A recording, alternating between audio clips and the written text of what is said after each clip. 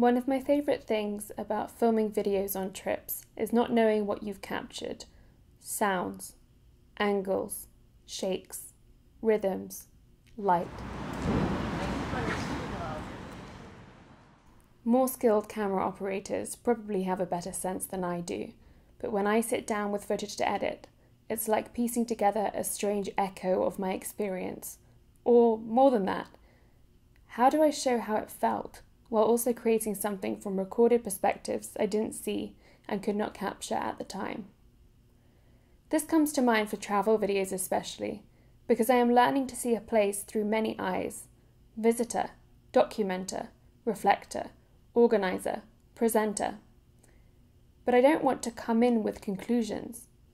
I sat down at my computer, and what I saw of this trip to Winchester were archways, stones held together at the point by the keystone, the many parts making what looks like two delicate lines leaning against one another, cloistered, enclosures, monasteries of the literal sense, and in the peace of the trees, of the river Itchen, of the wild and constructed romance of Keats, of that sense of awe and the strange dread of it, and in how the physicality of that was recreated, created wildness, replicated, and in castle ruins, of history, of the inevitability that the arch will one day fall, but our ongoing quest to preserve it, to hold it, to have it say something about us.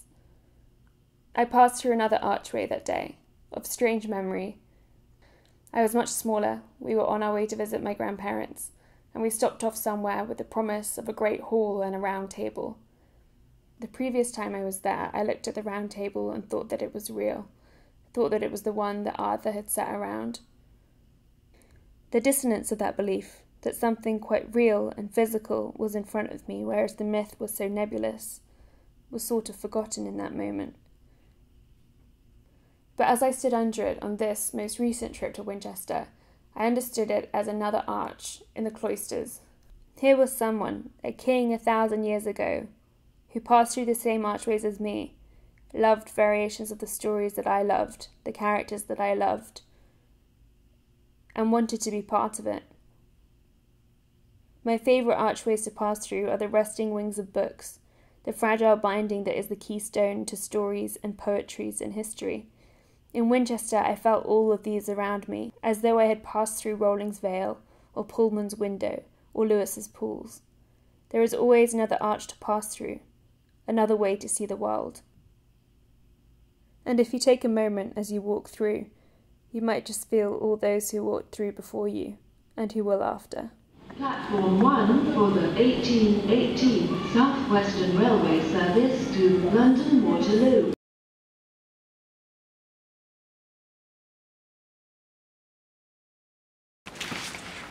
wine cellar.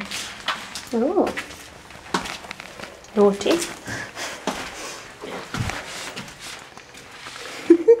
I love those. It was like the fridge. Lighting's weird in here, I like it. I looked into the light.